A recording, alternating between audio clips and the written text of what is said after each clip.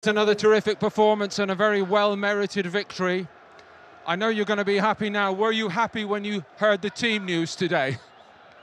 Yeah, of course. Um, as uh, as the plan was, uh, I was uh, on the bench to help the team uh, for the finish, and uh, yeah, I'm happy to get this goal uh, in front of the fans as well to give them the win, and yeah, I'm happy. Why do you think you were left out?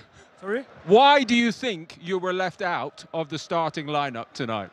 I think uh, as the, um, the the coach said to me, uh, he wanted to have uh, fresh players today, and uh, and yeah, um, I know I can use my quality uh, from the bench to, to go on the pitch.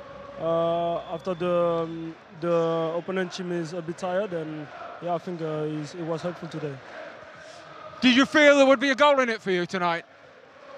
Yeah, I talked with the with the gaffer, and he said, uh, "Yeah, I, I, feel like you, you will score today." And uh, yeah, I had this uh, this confidence as well, and yeah, I get on the pitch. And Thank you, Bryan. I want to come to you, sir.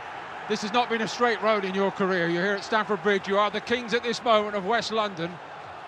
You're playing for Dulwich Hamlet not many years ago. Does this mean a little bit more to a player like you? Uh, yeah, I think you could say that. Um, you know, obviously experienced the non-league side of things. Uh, it's a it's a different world. But you know, I've gradually made the step up in my career each time, and you know, each each level I've been at, I've managed to to reach a good level, and yeah, just just the atmosphere and getting the win for the fans today was unbelievable. You've been so solid since you came back into this side alongside the likes of Ben Mee and so on. How confident are you that you can keep anybody out? Um, yeah, we go into every game with massive confidence. Um, you know, it's not an individual effort; it's a team effort. From the from the boys up front to the midfielders, you know, we we all work in cohesion and as a unit, and you know, I think that showed today.